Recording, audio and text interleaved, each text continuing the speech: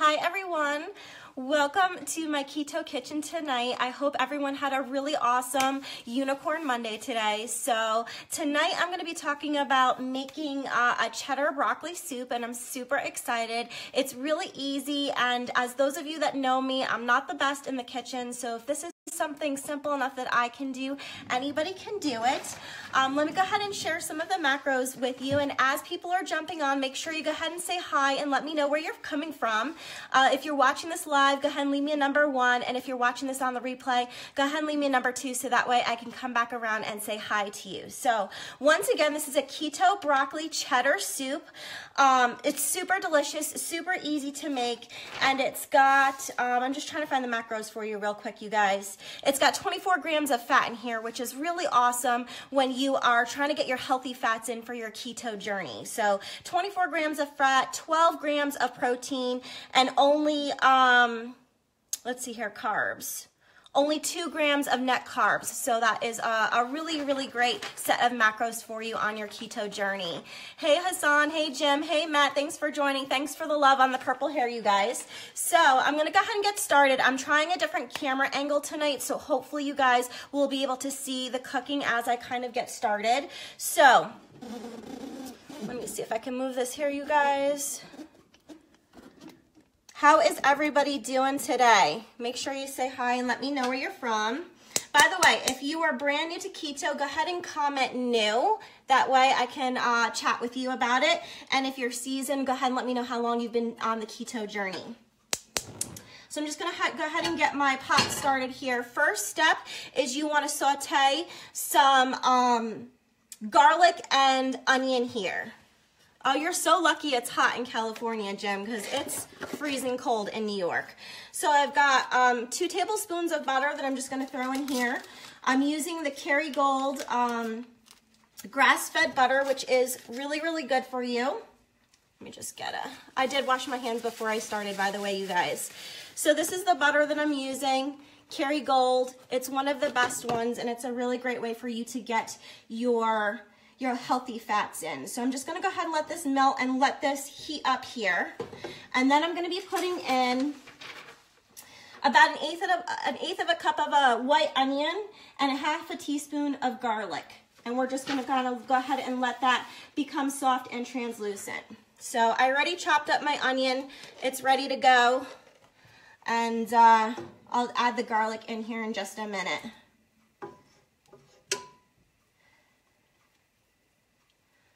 So how's everybody's day doing today? Mondays are always tough, right? Getting back into the groove of things. So I'm just gonna go ahead and add my onion. I'm starting to bubble a little bit here.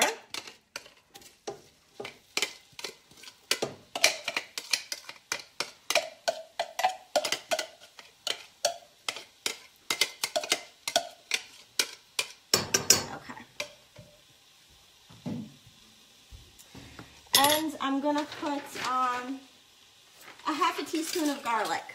So of course, if you use fresh garlic, it will be the best choice for you. But I just have the, the kind that's already pre-minced. So I'm just gonna go ahead and add that in here.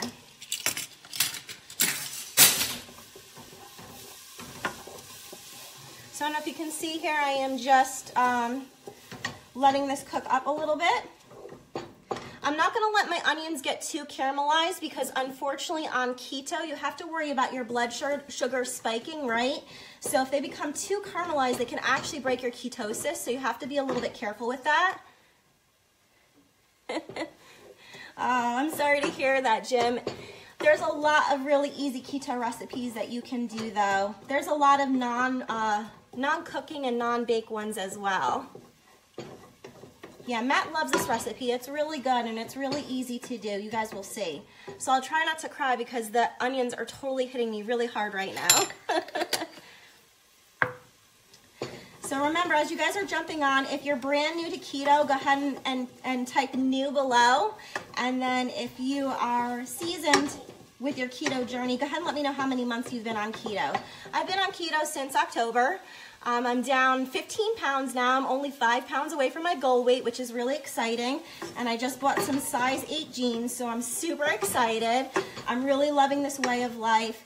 And um, I just, I love the energy and just how great I feel. There are just so many great benefits to the keto lifestyle. So if you're doing keto right now, go ahead and feel free and share with me what some of your favorite your favorite benefits are of doing this lifestyle. All right, so I'm gonna get ready and see what the next step is here, you guys. So, next step it says to add broth and broccoli to the pot. So we need um, two cups of chicken broth. So I'm just gonna go ahead and get that ready here. I've got uh, a measuring cup and I've got some chicken stock here. I had to, let me just turn this down a little bit. I had to be very careful when buying the chicken broth. Make sure you guys are really looking at your labels because there were a few of them that actually had um, like I, am trying to remember what it was, if it was cornstarch or something like that. So you don't want any flour and cornstarch and additives and things like that because it will break your ketosis. So I'm just measuring two cups here. So I got this one here. It seems like a really good chicken broth. Um, I didn't see anything being added to it at all. It's just chicken stock with natural flavors and a little bit of seasoning. So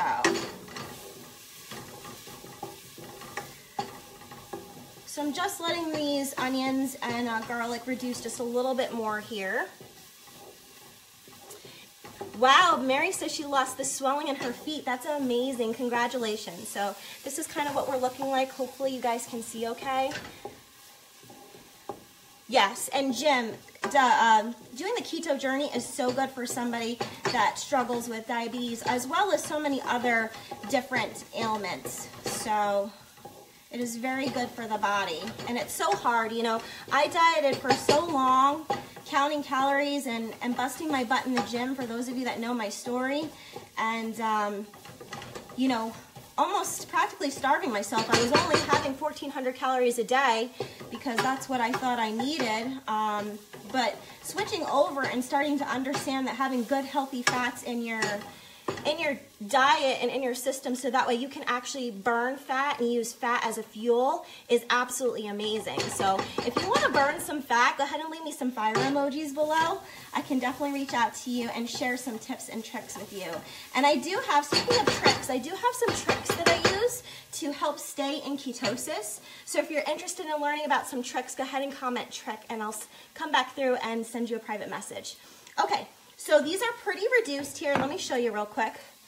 So they're pretty reduced. I'm gonna go ahead and add my chicken stock now. So it's two cups of chicken broth.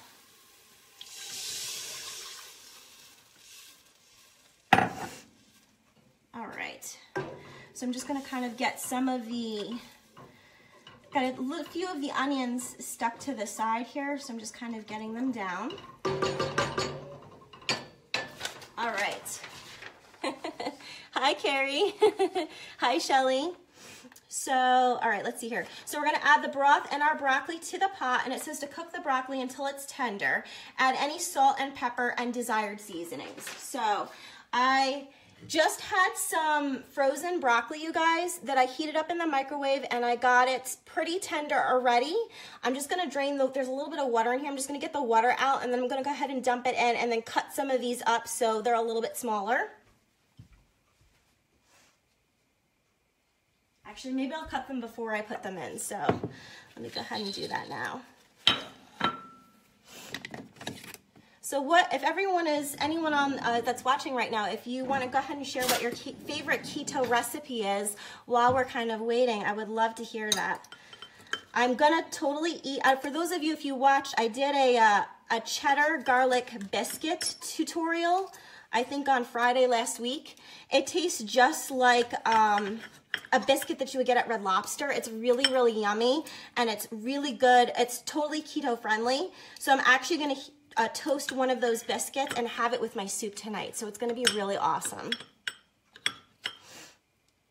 So I'm just cutting up these broccoli florets a little bit. I couldn't cut them before because they were frozen. So just so they're a little bit easier to eat. Okay and just putting them in the pot now.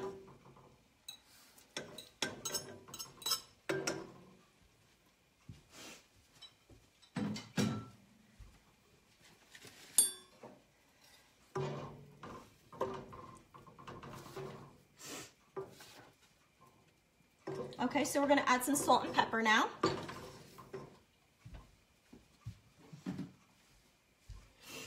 When you're on the keto journey, it's really important that you uh, have a lot of, you have electrolytes in your system.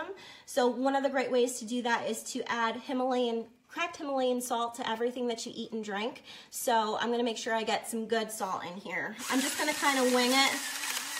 Just put a little bit in. And then with the pepper as well.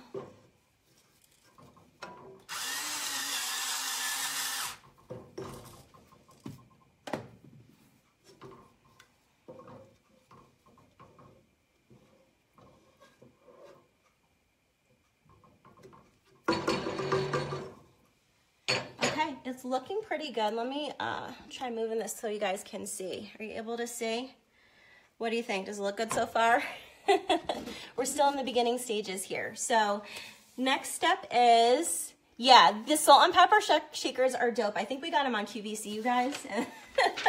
so they're really nice. They're electronic. All right.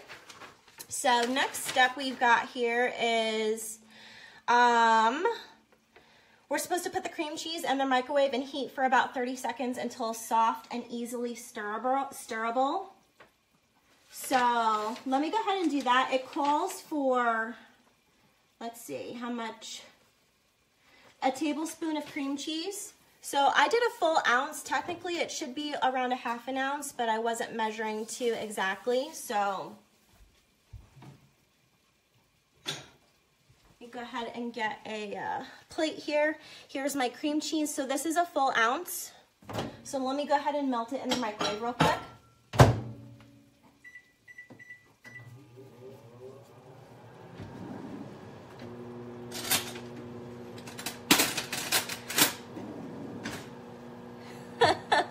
You'll have to let me know if you find the, uh, the salt and pepper shakers, Carrie.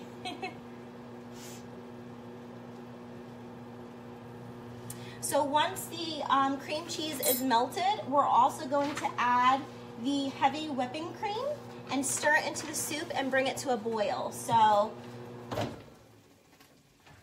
me check this. All right, looks like it's getting hot. Okay, so we're nice and melty, you guys. There's the cream cheese. So I'm gonna go ahead and measure the whipping cream right now and add it to uh, our cream cheese. And then from there, we're gonna put it in the soup. So for the heavy whipping cream, we need a quarter of a cup.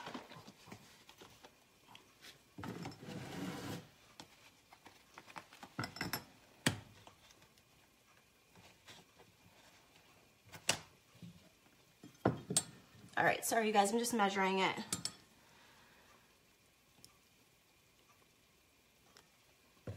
Okay. There's our quarter cup of heavy whipping cream. I'm just gonna add it to the cream cheese and stir it around a little bit.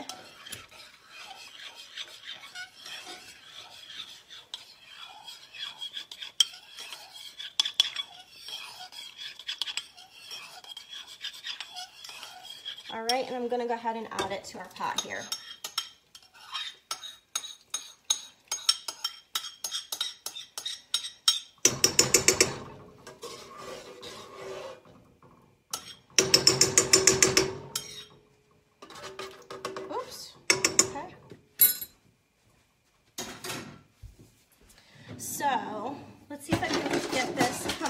just a little bit better, you guys. I'm gonna just a whisk.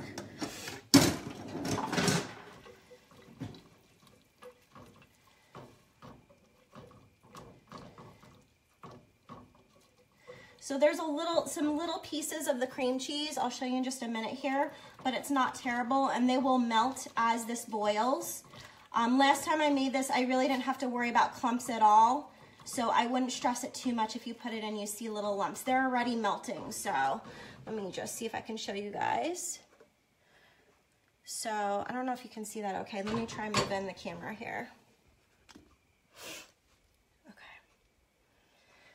So it's doing good. You can see Bean in the background. yeah, he's waiting for me to drop something. All right, so let's see what the next step is.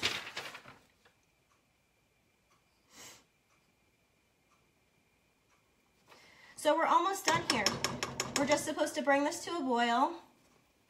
And once it boils, we're gonna add in the cheddar cheese and then turn off the heat and we'll let it kind of um, combine. And then if it's too watery, we'll add a little bit of xanthan gum to help thicken it up. So I'm just waiting for this bad boy to boil. It's kind of got a fast simmer right now, so it's not gonna take too long. And I've already got my cheddar prepped and ready to go. So we'll dump it in as soon as, as soon as it's got a nice full boil. So Lisa, I will, once I get done here, I will post the recipe right in the comments. That way you guys can find it very easily. I got this recipe off of Pinterest. Um, it's by, I think this is by the Keto Mama. It's called Hey Keto Mama. She does a lot of really great um, keto recipes, so you can always search for her and find it. It's very easy to find. So we're almost boiling here. So by the way, while we're waiting, uh, these are what my garlic cheddar biscuits look like that I made the other day. They're super delicious um, and they get nice and crispy when you toast them. So I'm gonna go ahead and toast one of these up to have it with my soup. So if you're looking for a really great biscuit recipe, definitely check out my previous live video on Friday. Um, I've had a lot of people that tried it over the weekend and loved it and said it was really delicious. So thanks for the great feedback. I'm glad you guys enjoyed it. Okay, so we pretty much have got a boil here.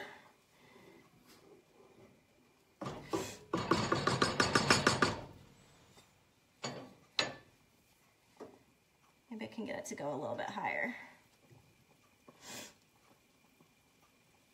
I'll show you guys. So you can see we're boiling pretty good. It doesn't show so much once I tip the uh, the camera here, it kind of stops boiling. Okay, so I'm gonna go ahead and add in the cheddar. And then it says to turn the heat off. So let me go ahead and do that. Turn off heat and quickly stir in the cheddar cheese. And then it just says to add the xanthan gum to thicken if needed. Now, last time I remember, I actually had to turn the heat back on a little bit to um, to kind of help it reduce a little bit more. That was my experience last time, so I don't know if it's gonna be the same this time or not. So let me, I'm actually gonna pick up the camera and turn it around so you guys can see it. So, so the cheddar is melting nicely, but it seems a little bit, a little bit runny. So I may have to reduce a little bit more and add some xanthan gum. So that's what I'm going to do now. Okay. So what do you guys think? Does it look pretty good?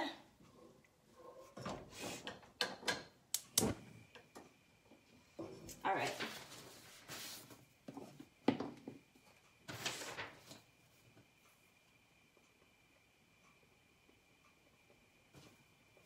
So it suggests a half a teaspoon of xanthan gum. So that's what I've got in this container here. And once again, for those of you that are just jumping on, the xanthan gum is just something you can use to, um, to help thicken. In lieu of like cornstarch or flour, you wouldn't want to use any of those because they're definitely not keto.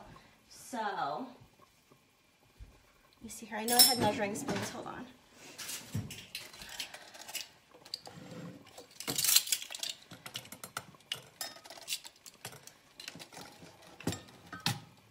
All right, let me just rinse off my measuring spoon real quick.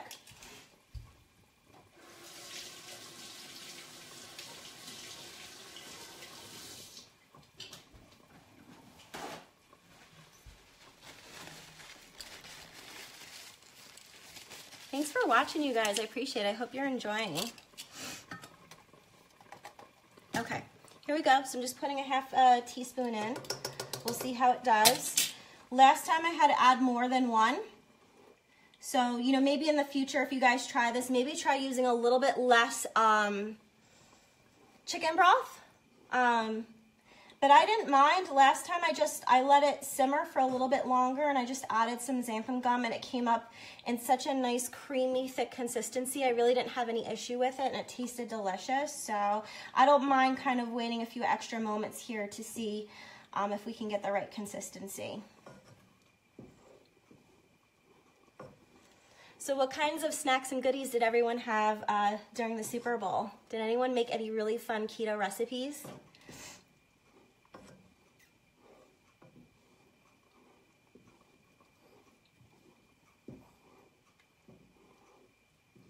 So that definitely helped. We're a little bit thicker here. I think I'm probably gonna need one more. Let me go ahead and switch the camera around so you guys can see what it looks like. So here we go. So you can see it's a lot thicker, but it's still, still a little thin for my liking. I like it to be really thick. So which is nice because, because you could really make this however suits your taste the most. So let me try one more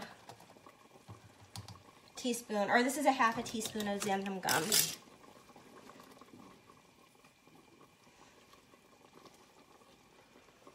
Island Park, Idaho. Is that where you're from, Sonoma? Welcome.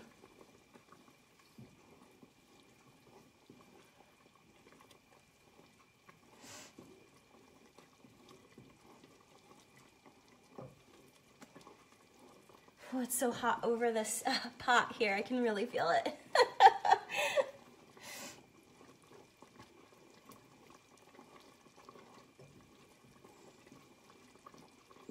Awesome, so this is looking really good now. And if you turn off the heat for a little bit, it will actually thicken up and it will become the most beautiful, thick cheddar broccoli, really gorgeous soup. So I will go ahead and turn this off and show you guys what it looks like. Let me go ahead and turn the camera around. And let me see how many servings this is supposed to make. Four total servings, uh, three, three quarters cup each, by the way. All right, let me show you what this looks like, you guys. It looks really good. So you can see it looks nice and thick. So I'm gonna go ahead and turn the heat off and just allow that to thicken up a little bit and it's gonna be absolutely perfect. So I will uh, take a picture of a bowl once I have it ready to go. It's a little too hot to take a sip yet, but I will make sure I do that with you guys and definitely try this one. You can see it wasn't that hard, right? Our ingredients were just a little bit of onion, a little bit of garlic. We had some butter, some cream cheese, some heavy whipping cream, and Cheddar and broccoli, of course. So very easy to do, not a very expensive recipe at all. Hi, Leticia, thanks for joining. So for those of you that are just jumping on now, I'm actually just finishing up, but we just finished the cheddar broccoli soup. Oh, let me do it the other way, sorry. So here is the final product. Came out really, really good. So can't wait. And then I'm gonna be having one of my uh, famous garlic cheddar biscuits to go along with it. So Awesome. Thank you so much for joining tonight. I really hope you enjoyed checking out this recipe. If you found value in this, make sure you go ahead and share this video and subscribe so that way you get alerts for my future videos. Thank you so much for joining. I hope you guys have a great night tonight.